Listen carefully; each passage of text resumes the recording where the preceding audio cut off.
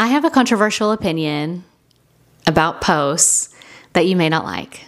The question is Do graphics and copywriting need to be perfect on every single post? And does it make a difference where you're editing those graphics? My controversial opinion is that action, consistent action, is so much more important than perfection.